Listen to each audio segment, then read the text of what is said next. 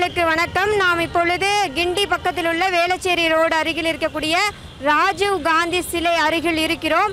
இன்றைக்கு தமிழக ஆளுநர் ஆர் என் ரவியை திரும்ப பெற கோரி தமிழக வாழ்வுரிமை கட்சியின் சார்பாக வேல்முருகன் எம்எல்ஏ தலைமையில் இப்பொழுது ஒரு மாபெரும் போராட்டம் நடைபெற இருக்கிறது. அனைத்து கட்சி ஆதரவுடன் நிறைவேற்றிய நீட்டு விளக்கு சட்ட மசோதாவை திருப்பி அனுப்பிய ஆளுநரை ஒன்றிய அரசு உடனடியாக திரும்ப பெற வேண்டும் என்பதை வலியுறுத்தியும் தமிழக வாழ்வுரிமை கட்சியின் சார்பாக இந்த மாபெரும் ஆளுநர் மாளிகை முற்றுகை போராட்டம் நடைபெற்றுக் கொண்டிருக்கிறது.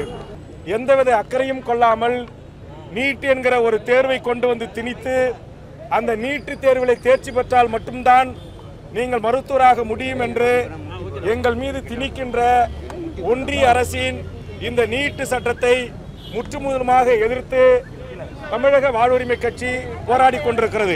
ஆளுநரை தமிழ் மக்களின் உணர்வுகளுக்கும் உணர்ச்சிகளுக்கும் கல்வி உரிமைகளுக்கும் இடஒதுக்கீட்டு உரிமைகளையும் எதிராக இருக்கின்ற ஆர்எஸ்எஸ் பின்புலத்தை கொண்ட தமிழக ஆளுநரை திரும்ப பெற வலியுறுத்தி இந்த ஆளுநர் மாளிகையை முற்றுகையிட்டு இந்த மாபெரும் முற்றுகை போராட்டத்தை நாங்கள் நடத்துகிறோம் என்பதை தெரிவித்துக் கொள்கிறேன். கிராமப்புறத்தில் இருக்கிற ஏழை எளிய மாணவர்கள் இந்த ஏழு புள்ளி அஞ்சு சதவீதத்தின் ஊடாக மட்டும்தான் உள்ளே செல்கின்றார்களே தவிர நீட்டின் ஊடாக உள்ளே செல்லவில்லை.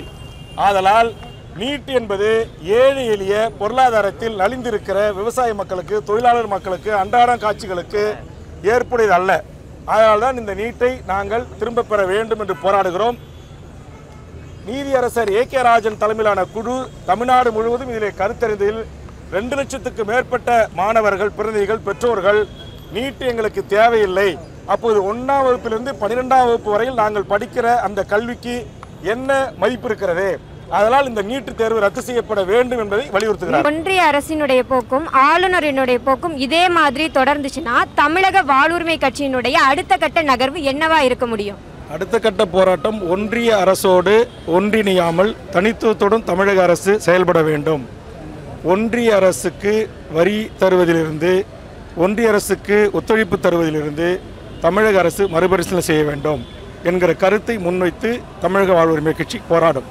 அதுபோன்று எங்கள் போராட்டம் அடுத்தடுத்த கட்டத்தை நோக்கி பயணிக்கும். அது வீரியமாகவும் ஒன்றிய அரசுக்கு உரிய ஒரு புற அழுத்தத்தை மக்களின் ஊடாக தரக்கூடிய போராட்டங்களாக அது மாறும். முதலமைச்சர் அனைத்து கட்சி கூட்டம் கூட்டினாங்க. அப்போ வந்து தமிழக வாழ்வுரிமை கட்சியின் சார்பாக நீங்க வந்து உங்களுடைய ஆலோசனை என்னவா வச்சீங்க? நாம் ஒன்றிய அரசு இது போன்ற தமிழ் விரோத தமிழ் மக்கள் விரோத மாணவர்கள் விரோத தொழிலாளர்கள் விரோத மீனவர்கள் விரோத ஒரு தொடர் நடவடிக்கை ஈடுபட்டு கொண்டிருக்கிறார்கள். ஆக இதற்கு எதிராக வெகுமக்களை அணிதிரட்டி போராட்டங்களை முன்னெடுக்க வேண்டும். அதற்கு அரசு அதற்கு துணை நிற்க வேண்டும் என்கிற வேண்டுகோளை முன்வைத்தேன். அடுத்த கட்டமாக உடனடியாக சட்டமன்றத்தை கூட்டி திரும்பவும் இந்த சட்ட மசோதாவை ஆளுநருக்கு அனுப்பி வைக்க வேண்டும் என்கிற கருத்தை முன்வைத்தேன். அந்த கருத்தை தான் ஏகமனதாக அனைத்து கட்சி தலைவர்களுடைய கருத்தாக ஏற்று மாண்புமிகு முதலமைச்சர் அவர்கள் திரும்பவும் சட்ட மசோதாவை ஆளுநருக்கு அனுப்பி வைப்பது என்கிற ஒரு வரலாற்று சிறப்பு மிக்க முடிவை எடுத்திருக்கிறார். அதற்காக சிறப்பு சட்டமன்ற கூட்டத்தொடரை கூட்ட இருக்கிறார்கள்.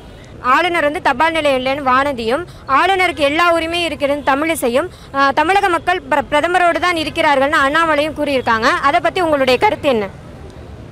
அவர்கள் அரசியல் செய்வதற்காக கூறுகின்ற ஒரு வார்த்தைகளாகத்தான் இதை பார்க்கிறேன். தமிழக மக்கள் எப்போதும் சமூக நீதியின் மேல் பற்றுள்ள மக்கள். இங்கு மத வெறியர்களுக்கோ மதத்தின் பெயரால் அரசியல் செய்பவர்களுக்கோ ஒரு காலத்திலும் இடமில்லை. இதை தமிழக மக்கள் நாங்கள் நன்கு உணர்ந்திருக்கிறோம். ஏன்? இன்னும் சொல்லப்போனால் எங்களுக்கும் அப்பால் இரண்டாயிரக்கும் மைலுக்கும் அப்பால் இருக்கிற காங்கிரஸ் கட்சியினுடைய தலைவர் ராகுல் காந்தியை உணர்ந்துதான் நேற்றைய தினம் டெல்லி நாடாளுமன்றத்தில் தமிழ்நாட்டில் ஒரு காலத்திலும் பாரதிய ஜனதா ஆட்சிக்கே வர முடியாது. உங்கள் கனவு பகல் கனவாகவே தான் முடியும் என்று கருத்தை கூறியிருக்கிறார். ஆகல எங்கள் மண்ணில் பிறக்காத வடநாட்டுக்காரர் வடநாட்டுக்காரராகிய இந்திய அளவில் ஒரு பெ- ஒரு அரசியல் கட்சியின் தலைவர் இந்த கருத்தை உணர்ந்திருக்கின்ற போது எங்கள் மண்ணில் பிறந்த வானதி போன்றவர்கள் அண்ணாமலை போன்றவர்கள் உணராமல் பிறற்றிக் கொண்டிருக்கிறார்கள் என்பதுதான் என்னுடைய பார்வை.